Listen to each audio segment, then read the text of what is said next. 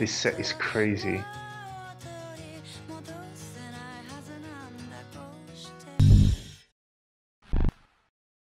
Yo. As you can see, my hair is long and fluffy. That's because we're currently in lockdown.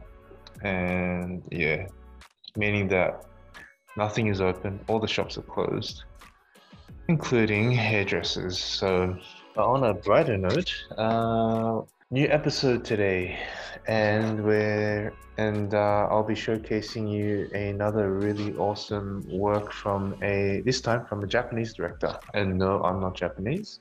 My ethnic background's Korean. Just for those of you who who do not know me or who are new to the channel. So today's director is Show Yanagisawa. Did I say that right? Show? Sho? Sho Yanagisa Yanagisawa. Uh, before we get to the video, uh, just a little background about moi. I am a film director, commercial director to be more specific. So I direct TV commercials. My name is Asua. This channel is basically me showcasing some really awesome work out there. Um, TV commercial to be more precise.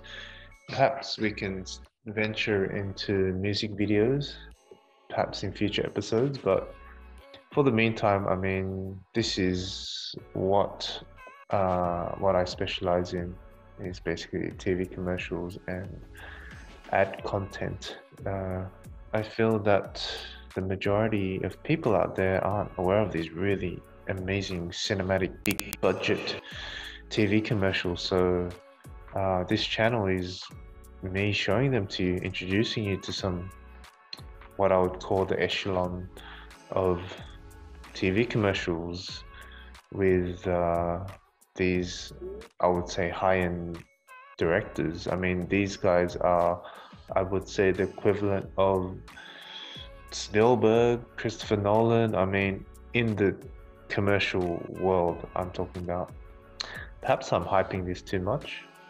Anyway, this um, this Japanese director, he's um, I've seen some of his work. Uh, I first stumbled upon his work. Uh, it was called. Let me just double check. Oh, Gravity Cat. So some of you may have seen it. It's really cool. Very um, visually creative. I would say if I was to compare him to another director, I would say more. He, he's kind of, kind of like Michel Gondry, let's say, but in his own way. He he has his own unique style. I have to say. Commercial I'll be showing you today is it, it's for Pocari Sweat, and it's titled "But I Saw You." Before we start, uh, don't forget to like this episode, leave a comment, just say hi or let me know how things are going, or if you have any questions, let me know in the comment section. And most importantly, please subscribe. Just just click that button. It's not hard. My first milestone is 100 subscribers, which isn't much, but uh, it's a lot for me. So if you can help me reach my first 100 subscribers, yeah, who knows down the line, I may start giving out some um, some prizes. Yeah, so let's get to this uh, commercial, shall we? Let's check this out. And here we go.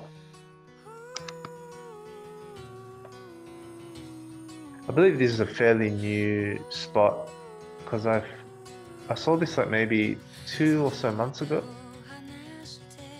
So it's pretty new. And this this set is crazy.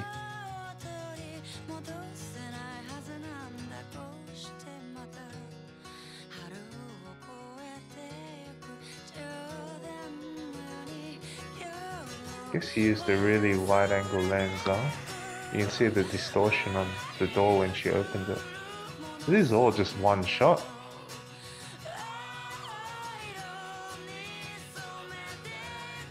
I don't think there are any cuts at all.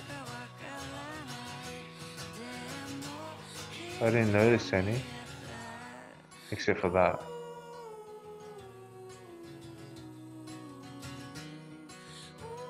Hakari Sweato. Cool, huh?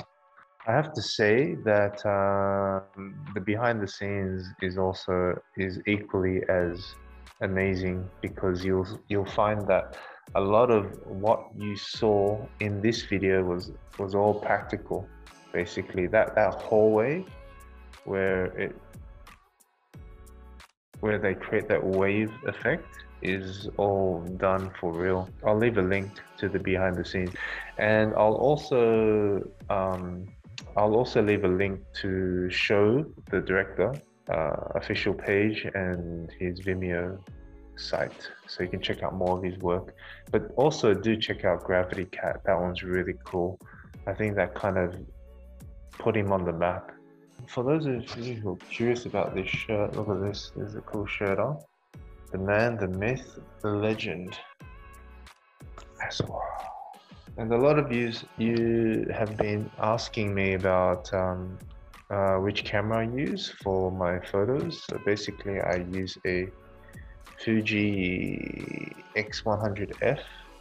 This is just a this is just a lens hood, but um, but yeah, it's just a small, pretty compact camera, and I have to say that I would highly recommend if if you're a, if you're a beginner, which which I am. I'm I'm, I'm a professional. I mean, I barely use most of what's here I mean, I do play around a bit, but not too much.